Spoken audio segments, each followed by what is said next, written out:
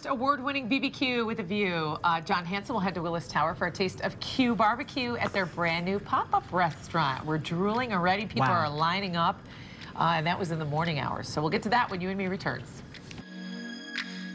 All right, it is 745. Sweet smells are filling the lobby of Willis Tower all week long. Bib Gourmand winning Q Barbecue is open as a pop-up restaurant there, and Jon Hansen's here to tell us more about it. It was perfect timing because you know yesterday I was up at the dog place on the northwest Yeah. side. There wasn't food there. We're so used to food here in the studio. I didn't have anything. They're like, "Oh, you're gonna go to this pop-up thing?" And I was like, "Okay, fine, fine." But I'm so hungry. But then they're like, "Oh, it's Q Barbecue." I was like, "Oh, yes, I'm doing it. Perfect, absolutely. It was so good. I gotta say, people love good barbecue, obviously, and honestly, by 10:30 the line was already so long, but it moves really quickly. It makes sense. Some of their meat is slow cooked. Get this for nearly an entire day. Let's take a look.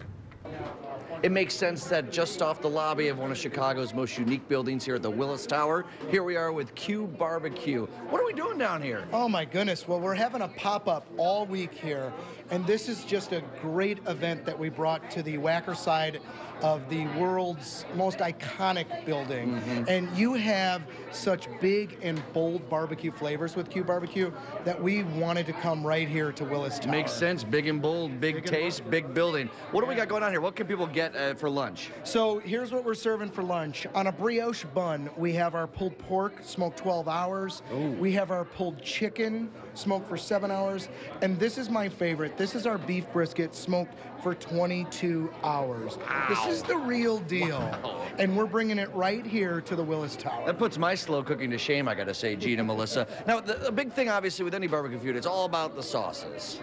It is, and one thing that I wanted to do at Q Barbecue was give you the uh, opportunity to taste your own sauce. We all have our different Yeah. flavors. So we have our Memphis sweet sauce, which is a lot of brown sugar and really great flavors. Mm-hmm. Off of that, we have our vinegar sauce. You know, into. Uh, from the uh, Carolinas. Okay, yeah. And then we have our Texas spicy sauce, which is my favorite. We use bird eye uh, chili pepper in there. All right, we'll call this one, we'll call the sweet one. This is Melissa. Uh, we'll go the spicy, that's Gene. For sure. And I'll be the vinegar. sure, why not? I mean, I guess if someone has to be. middle, little tart. And then, you know, get a side too. This is a complete lunch down here. You're not just coming for a sandwich. It is. So you grab a sandwich, and then we have our signature sides here. We have our four cheese macaroni, which we crumble Cheez Its on top. Mm-hmm. Mm. Wow. We then have our smoked baked beans that we put pork and bacon and other stuff in there. And then we have our creamy yet vinegar coleslaw. It's right in the middle. And then our good old fashioned cornbread, which was one of my family's secret recipe. All right, so this is a big, bold flavor, a great lunch opportunity. In just a little bit, I'm gonna need some of this comfort food. I'm gonna need some courage. I've never been on the ledge. It's freaking me out a little bit. We're gonna check that out. All right, so we'll be, you're gonna come with me, right? I'll come with you and I'll bring some courage with me. All right.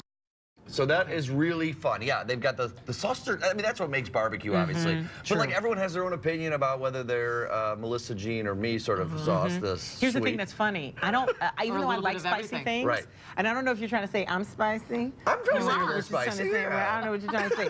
but when it comes to barbecue sauce, I actually don't prefer the spicier uh, Okay. stuff. I like the flavor of barbecue. Barbecue. I like the smokiness. Mm-hmm. I like the sweetness, and I like all those things that are combination. And I find that the heat messes with it for me. Mm-hmm. Okay.